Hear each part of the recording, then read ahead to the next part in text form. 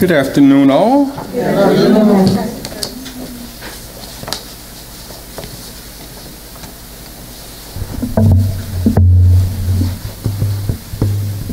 This is a question that I wouldn't normally ask you because you notice here lately with a lot of these game shows that the first thing they ask the person after they win something, what you gonna do with that money? That's so ridiculous to me. That's like asking someone with your paycheck what you're going to do with that money. Go pay your bills. That's the first assumption, anyway.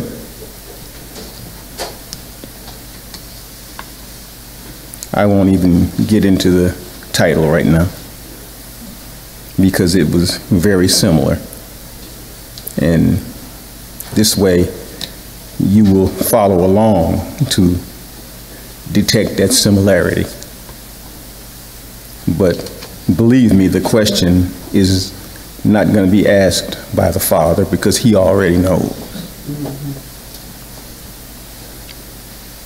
We'll start with Acts, the first chapter, the sixth verse.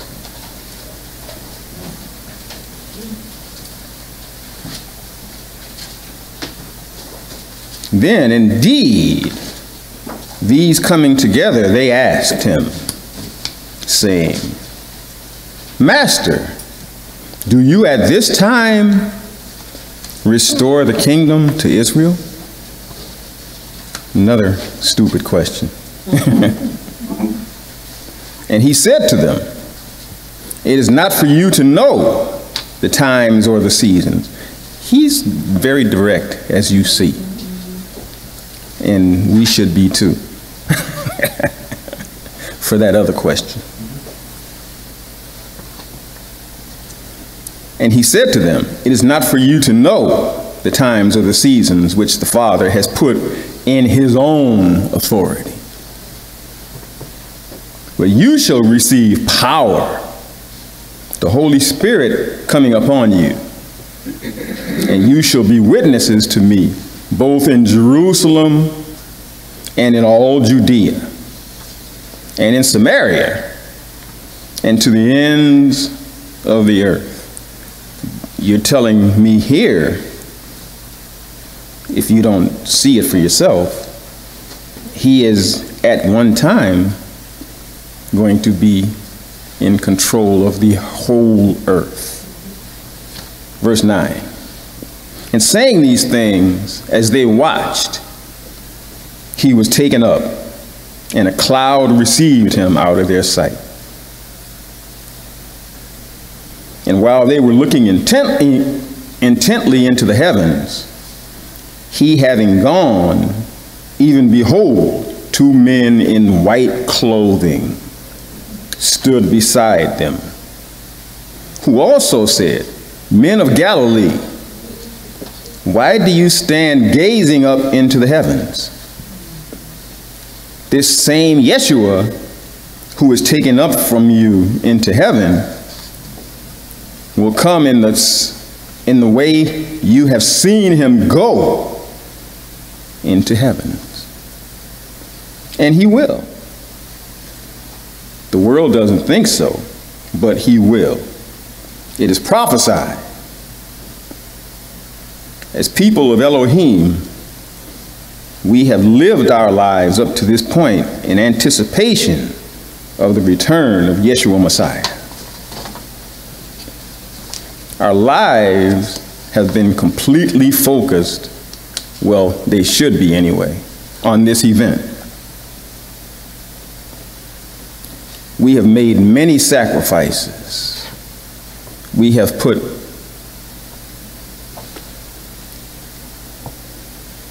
and allocated our physical substance to it. We have built the entire schedule of our lives around the timetables that Elohim instituted for us the Sabbath, the Passover, the days of unleavened bread, and continuing on through the holy days. As Christ promised in Acts 1, when he left his disciples, he sent his Holy Spirit back to them in a rushing mighty wind in Acts 2, verse 1. You've read it, you know it. Some say that this was the beginning of the New Testament church. The book says that the Feast of Trumpets is this day that we believe he will return in power. And some are confused about that also. He will return in power, saving the world from itself. We fast yearly on the Day of Atonement. If you can, you do it more than once a year. Showing Christ that without him, we would have nothing. We would do nothing. We would be nothing. And we end our year celebrating the Feast of Tabernacles, which depicts, depicts the millennium 1,000 years when evil will be put down for a season, a time to prove for all time that Yahweh Elohim's way is the only way. Yet we all have endured the struggles and strife that seem to go hand in hand with this way of life. Some of us have fallen out of favor with our families as we walk down this road. I've heard great many stories of families in turmoil simply for following the word of Elohim. Some of us have stumbled along the way because of these family pressures, but most of us have struggled to our feet, lifted the sometimes blood-stained banner, and carried on. Others have given up and given in to the call of the world, no longer continuing on. Still others have decided that this way is too structured. And because of the many years when nothing seems to have happened prophetically, some believe that Elohim is no longer concerned with what we do down here. So they feel that we don't have to focus so much on the details of Scripture. Only love each other. That's hard enough. What I see anyway. And follow Christ. And they have followed him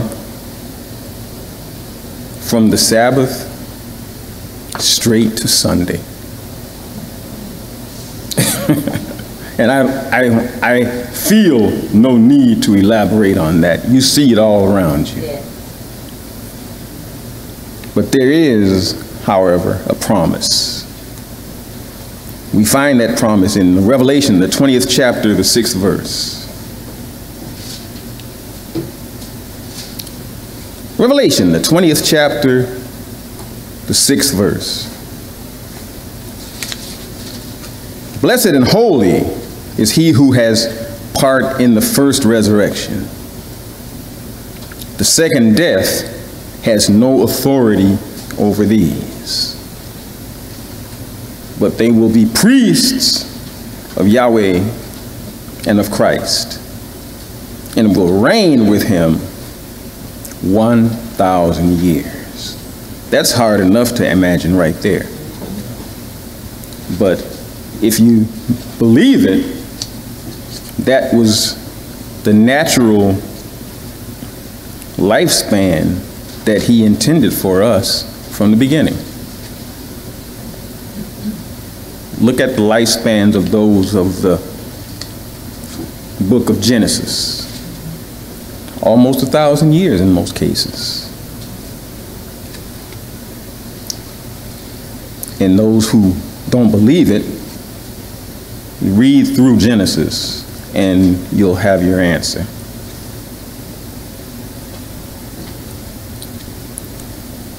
However, when Christ comes back, he will reward us with a measure of power that we are unable to comprehend as mortals. We imagine that we can grasp it, but I'm not sure that's possible so long as we are in this flesh. For title, we will call this, if you remember that first question, what will you do with your power? Forgotten already, huh?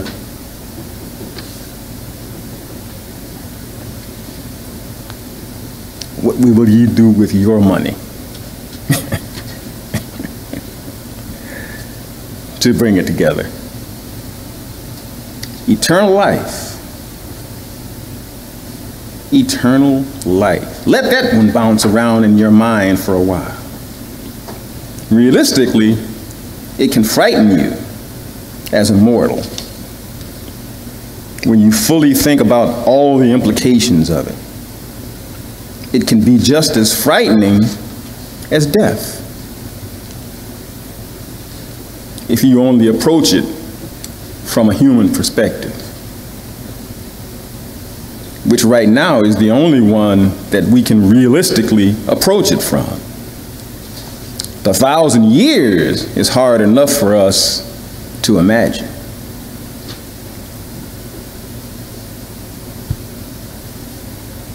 Ecclesiastes, the third chapter, the 11th verse, proves that. Ecclesiastes, the third chapter, the 11th verse. He has made everything beautiful in its time. He has also set eternity in the hearts of men. Who did it? Yes. You didn't even do that for yourself.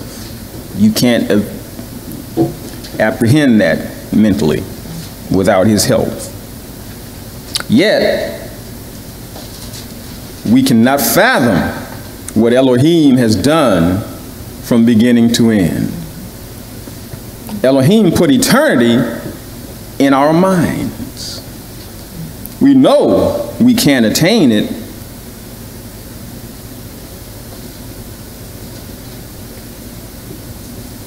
Of ourselves by any means. Science has made attempts attempts. Hyperbaric chambers for freezing the bodies of rich men, that's the only ones that can afford it, until cures are found for their diseases. Whatever that disease was, when they defrost you and come back, if they haven't still got a cure for that disease, you're going to die again anyway. That's the kind of thinking that we have as humans.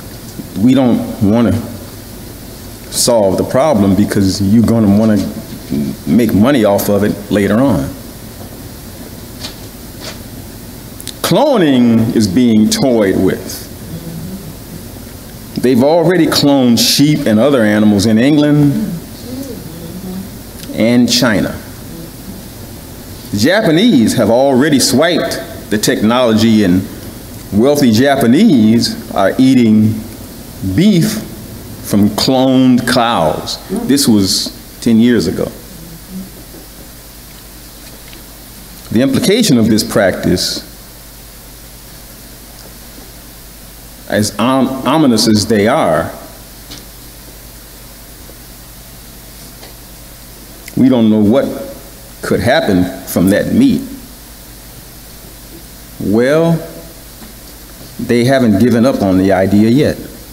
Of course, Bill Gates has placed his hat in that ring with his impossible burger. made of made of fake meat products.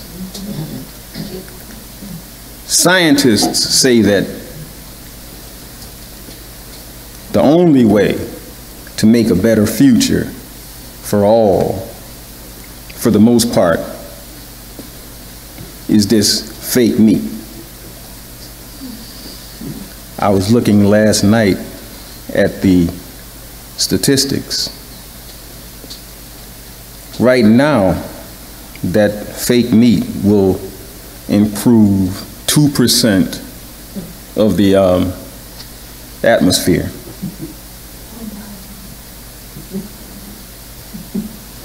Two percent.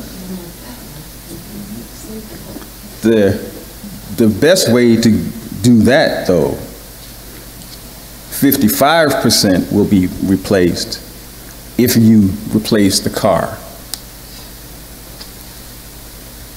And the other 45% if you replace all the factories that dot the, dot the earth. But that way, a lot of rich people won't be rich anymore. This is all about money, after all.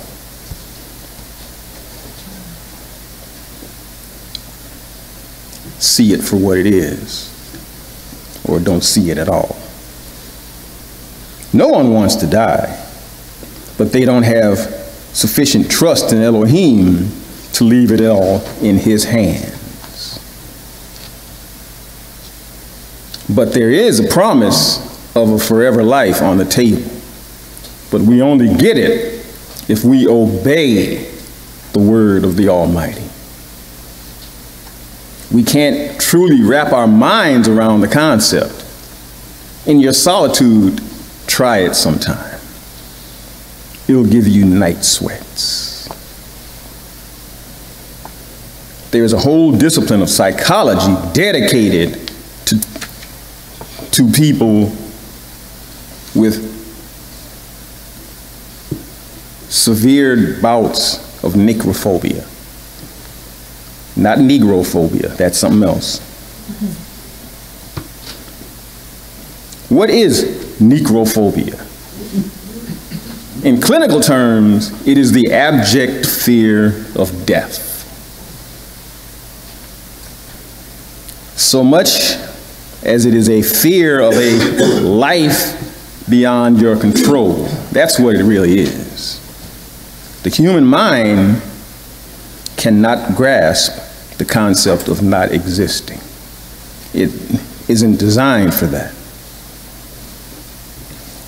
It will, it really, originally, it was designed to last forever under the control of Elohim. But that's why that control was never developed in the human mind because it wasn't supposed to get to that stage.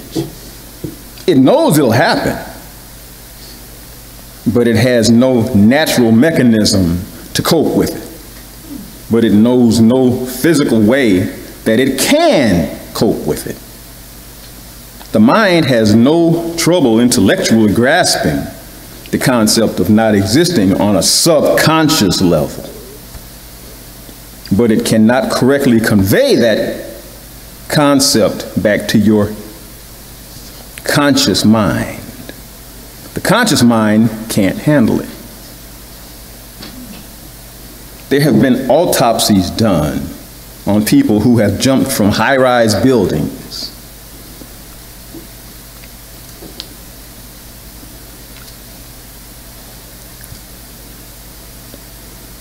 that listed the cause of death as congestive heart failure or stroke.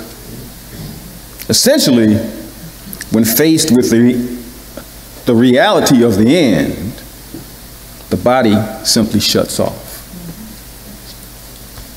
The person was dead before they ever hit the ground. As I said, the conscious mind can't handle it. The design wasn't put in because that wasn't what he had in mind for you. Consider for a minute your concept of death. Probably the last time you ever thought about it with any consideration was in your youth. When it wasn't so real to you. You think about it a lot more now, but you think about it a different way because now it's a little bit re more real to you.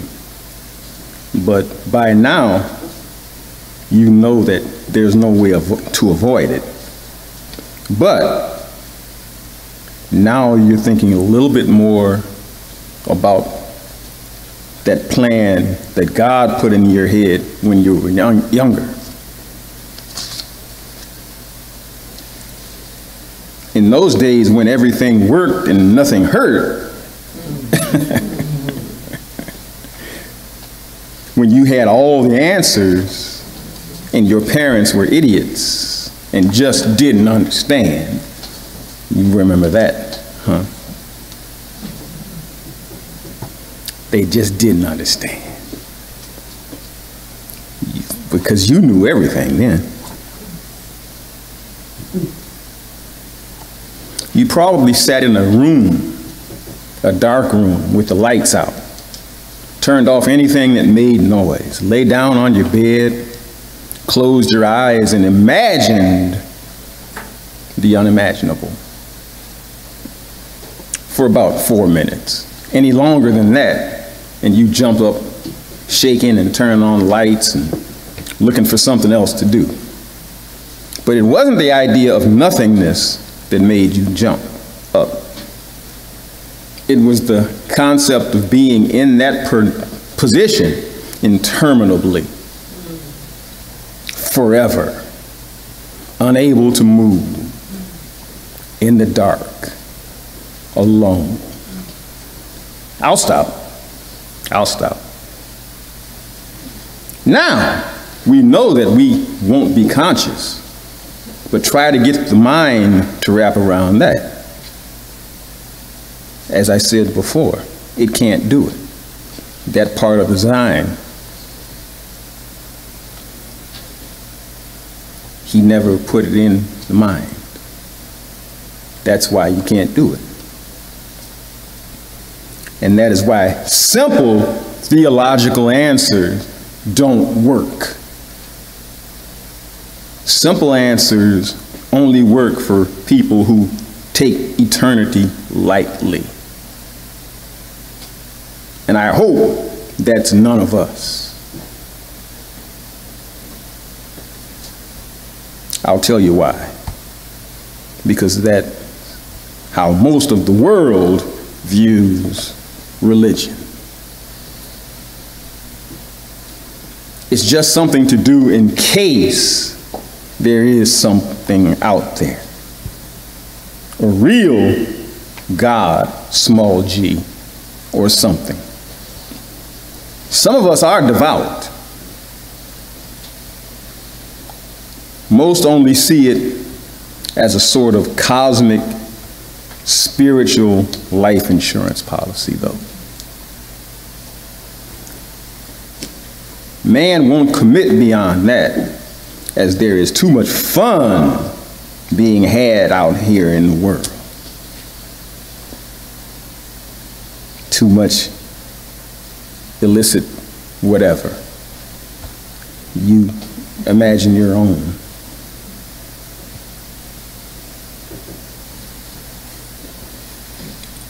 I look at this stuff 10 years later and some of the stuff that I penciled in here, it isn't even relevant to me anymore. And you all are a lot smarter than I was 10 years ago. and I erased that stuff because I'm thinking of different things now. And the things I'm thinking about is as stupid as the stuff that I got here. And I don't even want to use that.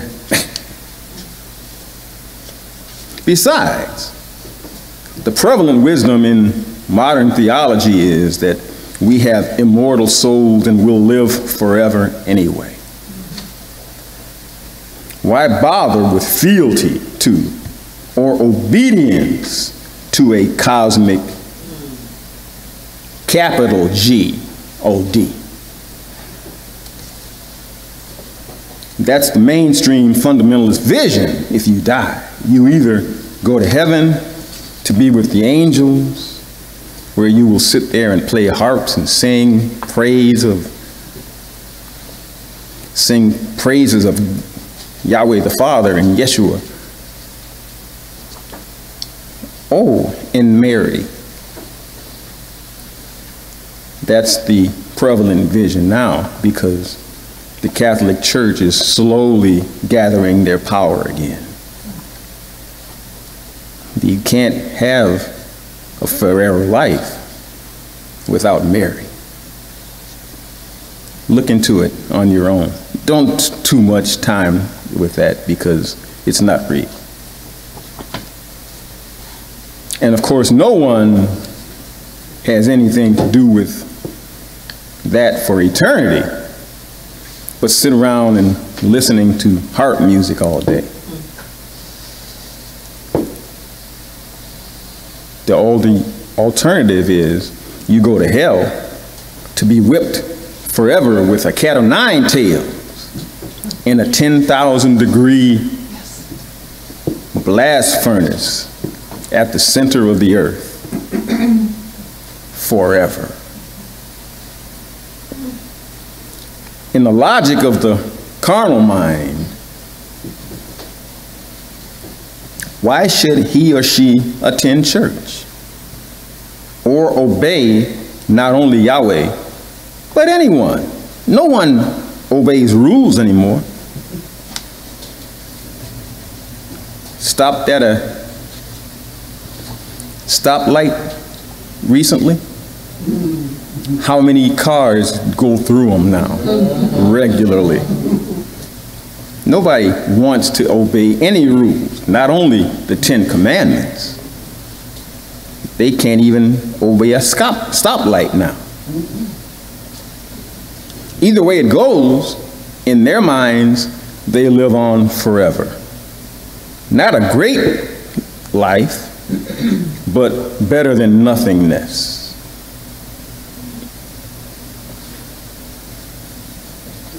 But can you really trust the world's opinions? Especially after the way that their minds flummox yours on this COVID 19 thing.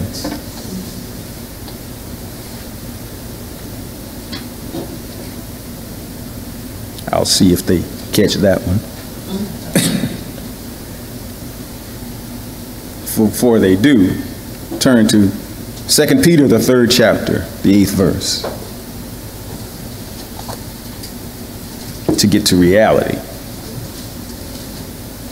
2 Peter, the third chapter, the eighth verse. But do not overlook this one fact, beloved, that with the sovereign Elohim, one day is as a thousand years, and a thousand years as one day. The master is not slow to fulfill his promise, as some count slowness, but is patient towards you, not wishing that any should perish, but that all should reach repentance. To Yahweh, time is no big deal. That's our whole thing. He's taking too long. In actuality, to him, time is something of an illusion. It never ends for him. You haven't gotten that point yet. to that point yet. And let's get to that point. No one has an immortal soul. No one is in heaven. All are in their graves.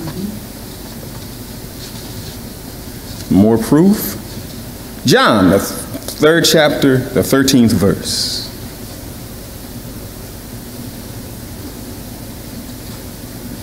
John, the third chapter, the 13th verse.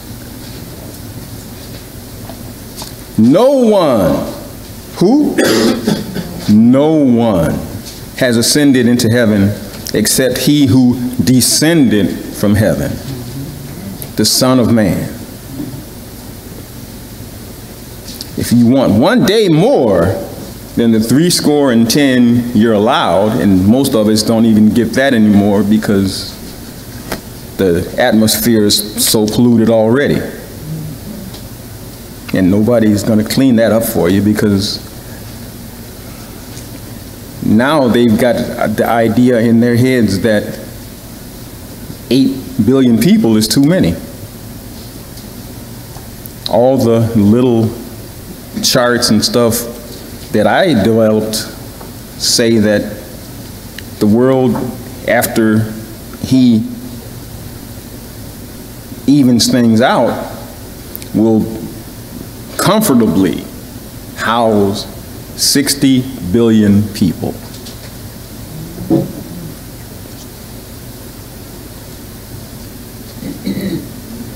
Their reason for limiting it to Three, three billion is that's a controllable amount of people. It's a control thing.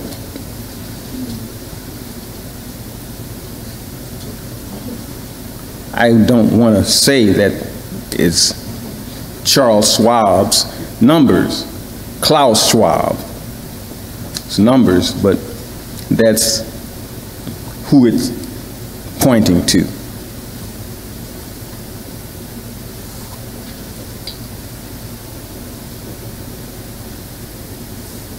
If you want one day more than the 3,000, three score and 10 you're allowed, you're going to have to go to the Father. And that's not Klaus Schwab.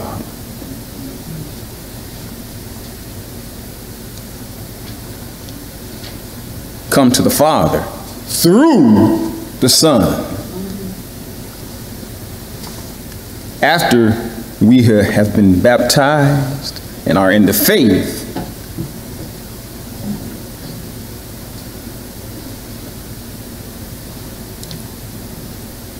this is expected. And we also know that road is hard. And we all know that we didn't get here all at once. It was, and by the way, still is, a hard road. I'm in lights.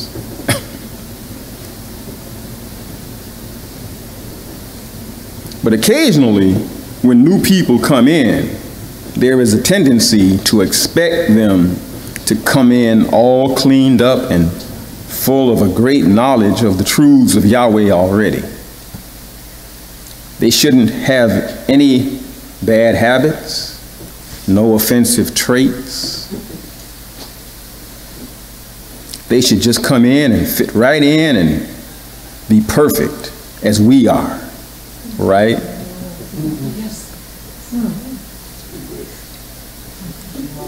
And unfortunately, that's the attitude that keeps our churches small enough to be in somebody's basement and there's still room left over for more.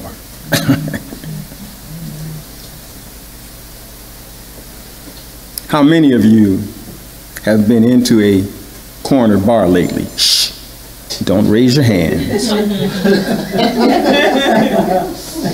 don't, don't let everyone know.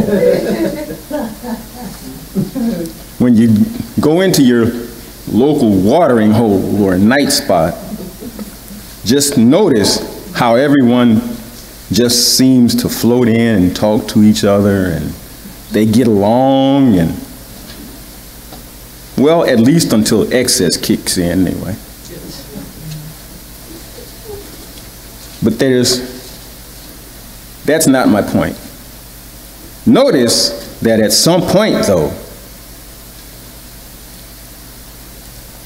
the slump shouldered and troubled always seem to find their way to the bar. And a funny thing happens at the bar. Those people will start a conversation with the bartender that is amazing. I used to make part of my living at this, not as a bartender. Never did that. That's one of the few things I haven't done. but most bartenders seem to accept it and somehow are prepared for it. And in my experience, people will tell a bartender things that they won't tell their wives or husbands. And the bartender listens, as he has most likely heard it all before, and is not quick to condemn. Now, notice I didn't say judge. The two tend to be horribly confused and can mean the difference between repentance and walking out the door with no answers. A bartender has to judge whether this person wants advice or just wants to vent. And most people just want to get it off of their chest. They want to talk. But what is equally interesting is how many people will actually take the advice of a bartender before they will take the advice of a minister or a brother or sister in Christ. The attitude seems to be the difference. Now, it seems to me that on some level, a local church, or at least a home church, should seem at least as welcoming to the lowly and downhearted as a local bar. Without the worldly distractions, of course. As people of Yahweh, we should know right from wrong, as taught in the scriptures. We also should know that after a new convert or potential member comes in, they will never come in perfect. We should be there as brothers and sisters in Christ to teach what the Word says biblically. And by example, as they go along, correcting gently, but not condemning them when they are wrong. for not being where we perceive ourselves to be. There is a lot of work, work to be done in the world to come, and Yahweh Elohim wants everyone he calls to be involved. And he wants those of us who have been here a while to show the way to the new ones that he calls.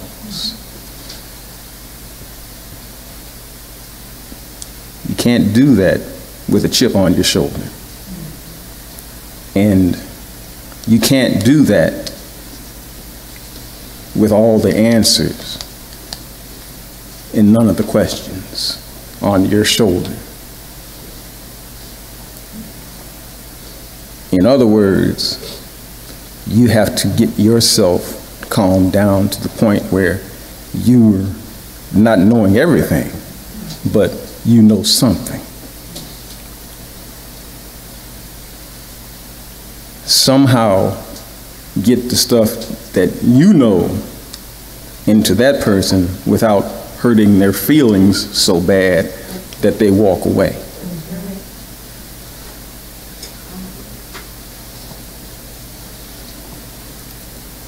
We find the way to do that in Colossians, the third chapter, the 16th verse. Colossians, the third chapter, the 16th verse. Let the word of Christ dwell in you richly as you teach and admonish one another with all wisdom. And as you sing psalms, hymns, and spiritual songs with gratitude in your hearts to yourself? No. Yahweh Elohim. It's not about you. And a lot of us get to a point where we know so much, we want to take over everything. That's not a good thing to do, especially if you're not qualified. And most of us, including speaker, don't know everything. You don't know everything. Even if you do, you're bound to slip up somewhere in you teaching it to somebody else if you're looking down on them while you do it.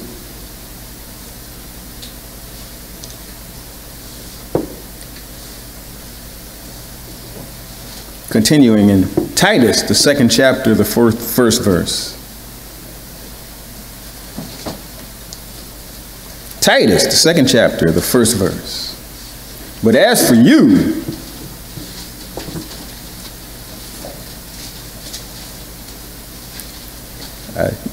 saw that line and I thought about one of um, Sandra's uncles. He used to come in the door. Not only you, but as for you, teach what accords with sound doctrine. Older men are to be sober minded, dignified, self controlled, sound in faith, in love, and in steadfastness. Older women likewise are to be reverent in behavior not slanderers or slaves to much wine, but are to teach what is good. And so train the young women to love their husbands. And that's sometimes a difficult thing, but you have to do that. And children. That one got me at one point train you to love your children. We thought that was kind of cool because most women, when they first put that baby on your chest, and it's kind of automatic at that point.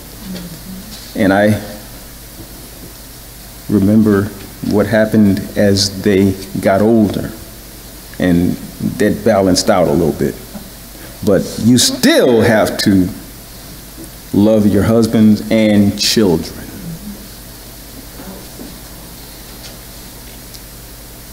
Verse 5 to be self controlled, pure, working at home, kind, and submissive to their own husbands. That the word of Yahweh may not be reviled. Believe me, there will be decades of work to do for us all. We can only imagine what we will be doing on into eternity. But one thing's for sure leisure will only be a part of it, it won't be the, more, the majority of the deal. We will rest for sure on the Sabbath, but the other six days, that's going to be some work. But not the kind of busy work that jobs have you doing now. There isn't a lot of detail in the Bible about what you will be doing, but there is one big hint. In Revelation, the 21st chapter, the fifth verse.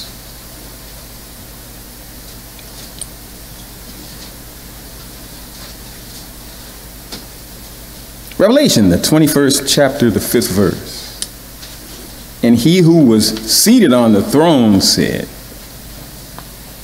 Here's the big hint Behold, I am making all things new. Also, he said, write this down for these words are trustworthy and true.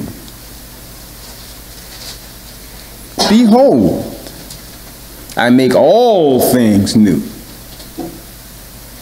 All things new. What does that mean? All new planets? A new solar system? Constructed of different materials, different atmospheres? All that car smoke out of the atmosphere will make us live a lot longer different species. Well, that one might be a problem for some of us. Even colors confuse us sometimes. Listen, how many of you are Trekkies? Two. Two. Three and a half. Three and a half. Three and a half. Three and a half. A half. Three and a half. If you looked at Star Trek, that species thing, they had all kinds. One of my pers personal favorites was the Ferengis. They were funny. they look funny too. But they were funny. Yep. That book of rules that they had about business, hundred and something rules about business, and they, anybody that they ran into, they had to go through that test of whether or not you could do business with them. If you can do business with them, with them. And after a while, I understood within myself that the Ferengi represented modern corporate interest. And everything on that program reflected something real in real life. In other words, you can learn a lot from Star Trek. I'm not advertising for anything, but the stuff is there. Use it. different atmospheres, different species, maybe not carbon based this time.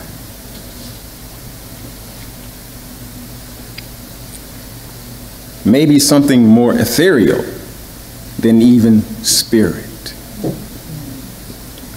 The mind boggles. Remember, he said, all things. This is a scripture that we read over and over again and never fully understand.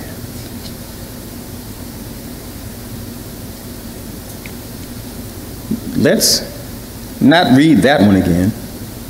I got a new one for you.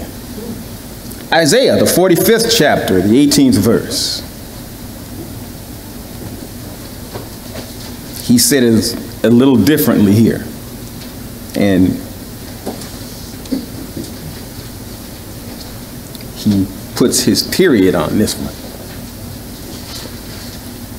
Isaiah, the 45th chapter, the 18th verse. For this is what Yahweh Elohim says He who created the heavens, He is Yahweh. He who fashioned and made the earth, He founded it. He did not create it to be empty. My mind boggles. But formed it to be inhabited. He says, I am Yahweh. There is that famous period. And there is no other. Again and again, Yahweh reaffirms that he created the heavens and the earth. And he says that he formed both of them to be inhabited. So I guess now we know that there will be plenty to do in eternity. Yahweh has plenty of power and authority that he wants to bestow upon us. He has work that he wants us to do. But Yahweh wants us to start here with our brethren. That's the best proving ground in the world. And eventually, the rest of the universe. But he needs to know that he can trust us with more. And he has not patience for another Satan. Say it again. He has not the patience or the facility for another Satan. Matthew, the 25th chapter, the 14th verse. Matthew, the 25th chapter, the 14th verse. For it will be like a man going on a journey who called his servants and entrusted to them his property. The one he gave five talents to, another two, to another one to each according to his ability. Then he went away. Sound familiar yet? Verse 16 He who had received the five talents went at once and traded with them and made five talents more. Sounds like a Ferengi, huh? 17. So also, he who had the two talents made two talents more. But he had received the one talent, went and dug, dug a hole in the ground and hid his master's money. Now, after a long time, the master of those servants came and settled accounts with them. And he who had received the five talents came forward, bringing five talents more, saying, Master, you delivered to me five talents. Here I have made five talents more. His master said to him, Well done, good and faithful servant. You have been faithful over a little. I will set you over much. Enter into the joy of your master. And he also said, who had the two talents came forward, Master, you delivered to me two talents. Here, I have made two talents more. The Ferengis are doing very well in the new in the new system.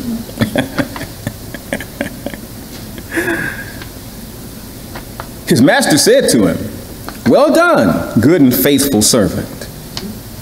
You have been faithful over a little. I will set you over much. Enter into the joy of your master. He also, who had received the one talent, came forward. Uh oh. Saying, Master, I knew you to be a hard man, reaping where you did not sow, and gathering where you scattered no seed. So I was afraid. So many times in the Bible, it says something about not being afraid, doesn't it? And I went and hid your talent in the ground. Here you have what is yours. But his master answered him, You wicked and slothful servant. You knew that I reap where I had not sown, and gather where I scattered no seed. Then you ought to have invested my money with the bankers. Yeah, yeah. Those were bankers back then, not the ones now. They had a way to make money from thin air back. They didn't have that back then. They didn't have that back then. If they did, we didn't hear about it. 27. Then you ought to have invested my money with the bankers. And at my coming, I should have received what was my own with interest. That is a interesting twist of events because this is actually a parable.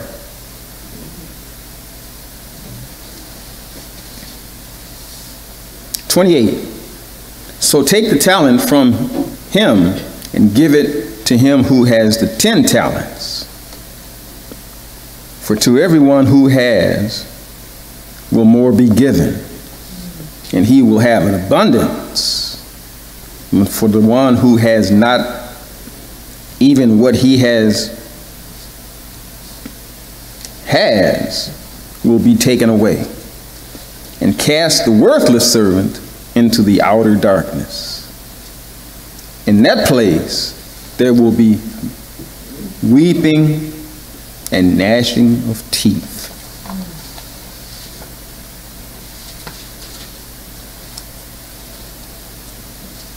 We have to start here. We are being judged by what we do right here, right now. Yahweh wants to see what we do with the little power that he gave us with the seedling of his spirit that we received at baptism. Then he will give us full power in powerful bodies at Christ's coming. Not until then.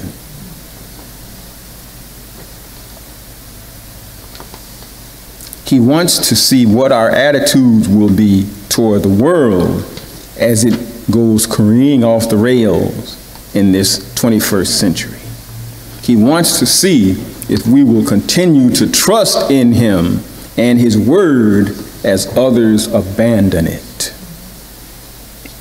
He wants to see if you will continue to read the Bible and believe it and live by it until he comes.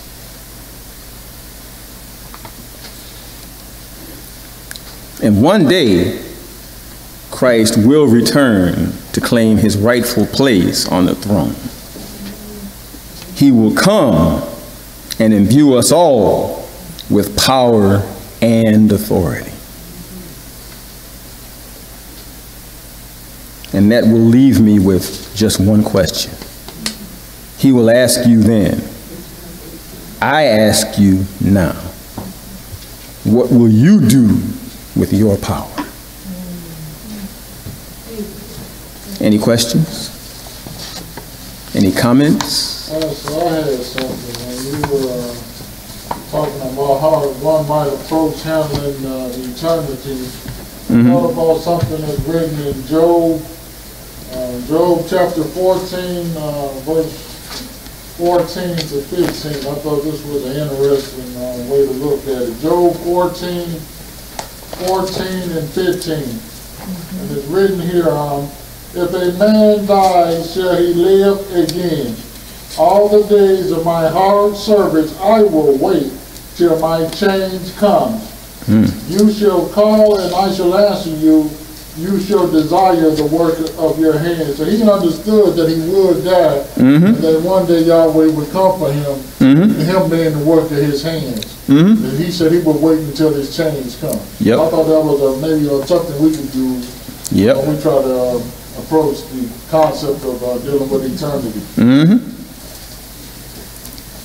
Little pieces are all through the book, but he didn't say it out loud for everybody to hear it. You gotta get into the book a little bit.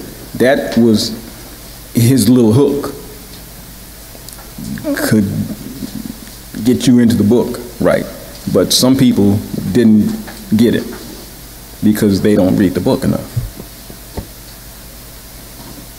Any more? And another thought, when you were talking about um, mothers being um, taught to love their children, I know that a mother has that natural nurturing instinct, Usually. and then uh, there's a lot of times when you hear like talk shows and stuff talking about it, they always say that babies don't come with instruction manuals. So I guess it's a combination of the natural nurturing instinct and also the knowledge and uh, how to do the job maybe from other mothers that has to be involved in it too. Yep. So I guess there is some teaching that has to, has to go on. Well, it's Yep. the grandmothers that are the wise ones, and the great grandmothers. Yeah, back then, you did have sometimes three or four generations in a house at the same time. There was a reason for that. Yep, There was a reason for that. they're the wise ones. We don't do that now because we so busy being, pretending to be grown. Sandy? Are you asking the question, what will we do with our power once we get it Yeah, fully? Yes.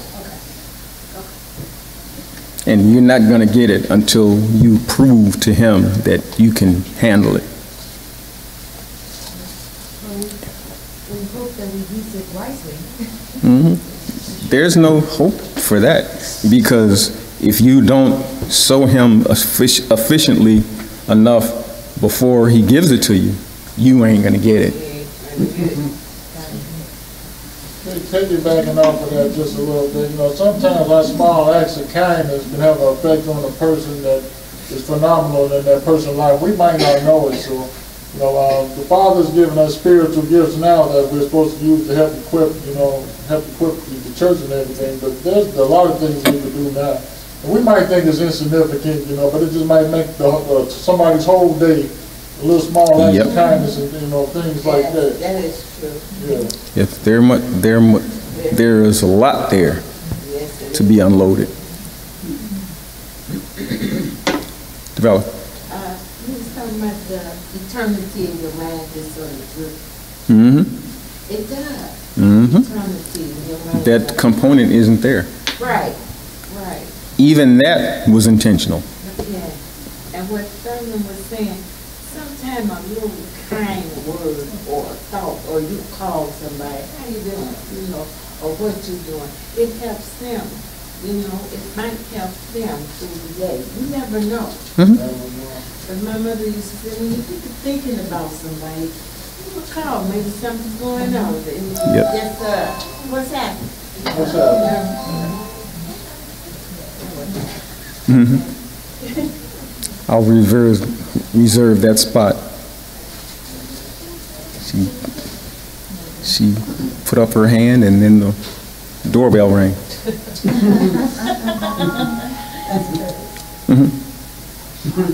It's me. Yes. Jerry? Um, we were speaking about, um, what would you do with your powers? But what would we do with what we have right now? That's what he's concentrating on. Right, what we have right now, and oftentimes, you know, coworkers or just someone in general, they may begin just to hold a, a conversation, and, and you just listen intently, and the Holy Spirit will guide you to what to say. They may just walk past you and, and you can look at that person and, or, or they may just say something and not your words, but the Holy Spirit will give you those words just to utter. And it will make a difference, just a little bit, but it makes a big difference. If we just take the time to listen, not to hear, but to listen. Mm-hmm. And to give an encouraging word along the way, it it really helps. And the Father will teach us how to do that more, to mm-hmm. listen, take the time. Yep. Because, with- you know, as you stated, the world is moving so quickly on its axles, the world. And we just hear a certain conversation, or they just may brush by you, and you just say, oh. And you don't know what, what that can make someone feel like, just for that, that moment. They don't know what their day was, you know? Yeah. Just in kind words Sometimes sometimes some makes a just want need to talk to somebody. Just to talk to, get it out. Yep. Melina? Uh, I was just thinking about what, what what Thurman was saying about, uh, Job, and Job knew, Mm-hmm. uh, that he was gonna be changed, and, and I thought about the scripture that- that's in fir, I mean, that's in Philippians, the first chapter, and verse six, where it says, and I am sure of this, that he who began a good work in you will bring it to completion at the day of Jesus Christ. So he's gonna finish the work that he Oh, yeah. begun in us, if we stand fast in him. If we stand fast. Mm-hmm. That's why certain things aren't going to happen until we change because he's not going to give you that power until he's a hun- 100% convinced that you have earned it at that time. He knows who's it, Mm-hmm. and very long for. Mm-hmm. Ruby? Pastor, I remember when I used to work, I used to have opportunities to talk to colleagues and share the word. And now that I've no longer worked, I was watching a program last night regarding being kind to one another and sharing and doing. And it made me reflect on what you said. What are we gonna do when we get that? You know, that power Mhm. of, of teaching. And I said to myself, I'm at a pause. Maybe it's because I needed to work on myself. I had to understand the word in order for me to share because I have no one to do this anymore. And even with my kids, very seldom they hear little words here and there. But it, it just made me reflect and think of, because I, I'm at home now. What do I do? And, uh, it, it just made me think. It really made me think, I'm like, uh-oh, where, where do I stand now? You know, even when my cousin talks, like this morning I spoke to her and she had Naomi and she had so much to say. And I try to give her words of encouragement, but when, when I hear my beloved families here at ABCOG that are out there working and conversing they have this communication that they're able to share. And I said, oh my gosh, in my mind I'm thinking, what am I doing? But then I had to stop and thinking, Father. So then you start thinking, up thinking, what am I here for? You know, the mind starts to play games mm-hmm. in you. Mm-hmm. Because I, I, I'm not out there anymore. Mm-hmm. That it's gonna make me want to read his word even more. So I could try to defend his word when they come at me and say, hey Ruby, why don't you this?" you know, this way I could come to them in a gentle spirit now. And like Sister Sherry said, to listen, because anybody can hear, but who's really listening? Listening is actually taking in every word and dissecting it to understand where that person is at. And, and I think that's probably where I'm at now, uh, where I, I need to start listening. And I thank the Father for this, because it just made me. There was a book I read a long time ago, and it said that most people that didn't break it down into gender, but it did, but not the way that most people do. But the thing is, most people, any kind of people, there's only two kinds of people. And both kinds of people, instead of listening, they're listening for the response that they come up with instead of listening to you talking. And they're listening in their head to what you're saying for key things that they can come back on you with to win the argument. And I've seen that so many times in my life, and people don't even listen to you while you're talking. And they're like, they're with you. Sandy? You know, listening to Ruby made that statement, I never really thought about the fact that I am in a household with all believers. I never really thought about that until you just made that statement. So that means I probably have taken that for granted, and I, I, I'm so sorry for doing so. You know, even with having Melina, Melina, Rashida, Mary, and myself, we're all believers. And it makes it easier. And you forget about those, like you being by yourself, mm-hmm. not having anyone that's walking the way you're walking now, how hard it must be mm-hmm. to, you know, even having someone to share with, to, to, you know, to oh, share, mm-hmm. you know, just general conversations, you know, just in general, you know, because, you know, if people are not where you are, they don't want to hear you talking about, know, God all day, or talking about certain things all day or whatever. Uh, so I am so sorry that I have taken that for granted, because I did, it did not register to me until you just made that statement. I said, wow, I am actually in the household with all believers. You know, a, a perfect example, last night, our been messing up again in the bathroom. And finally, Jean-Luc was able to rent one for seventy-five, uh, feet of, a slate to go in through. And all I hear was them cussing. Hmm. Mother effort. and they said, right, and hitting and stuff. And all I did was sit there and thinking, team them out hmm. at eighteen. And, and Jean-Luc afterwards, because I even Alexander, and I said, Jean-Luc, Alexander, stop. Mm-hmm. You could express a frustration without all that filth in your mouth. Mm-hmm. And then Reina went on, and then my husband says, well, you know, they're frustrated. I said, there's other ways. Mm-hmm. And they said, Mom, you just don't understand. You and, you have your way of doing things and, and, and at eighteen. And I sat there and I said to myself, when will they hear? They, they hear me, but they're not listening. As Sherry said, listening is so important. It's vital to help each other out. And I sat there and Ray said to me, what's wrong, honey? And I says, I don't like that my household is so disrupted. He said, but you know, they're just kids. I said, no, you know better. When you know better, you do better. And you can't keep on uh, pacifying that because then they think it's okay. Mm-hmm. As parents, mm-hmm. we have a big role that we have to take up so our children can see. But they see you one way and they said, I don't mean to knock you down, but I'm so knocked down by myself that I'm, I'm, I'm drowning and I can't seem to focus because everybody's disrupted and I'm trying. I'm And, and just, maybe just that word of listening.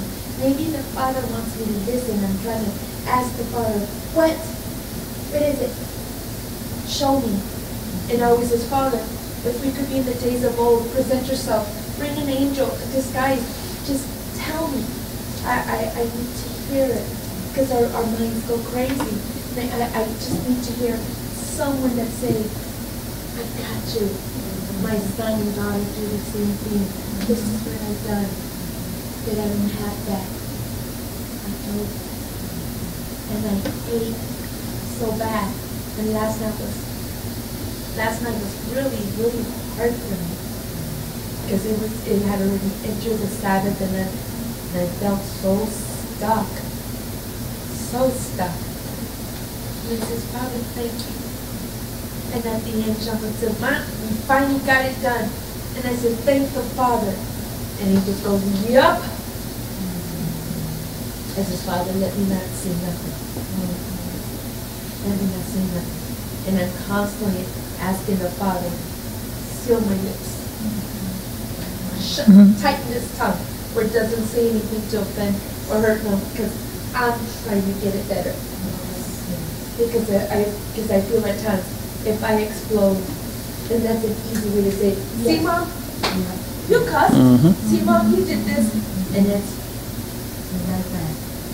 so hard. Back to square one. Exactly. What is that association, grief Grief association? You- You're around the same things, it's, it's hard to change when that's all you see. That's why I get so excited when I'm at ABCOG, because I have like minds that think the same, that share the same, that have somehow a struggle where we can share to uplift each other. And uh, if there weren't for that, I don't think where, I don't know where I would be at. I really don't. And it scares me. It does.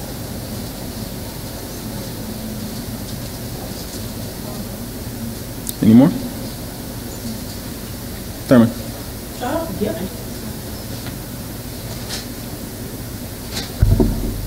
We're all nodding heads.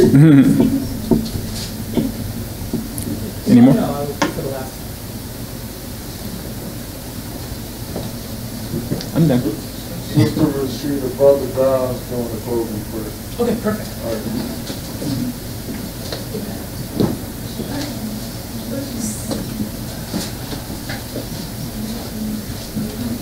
It's twenty-five. Thank you.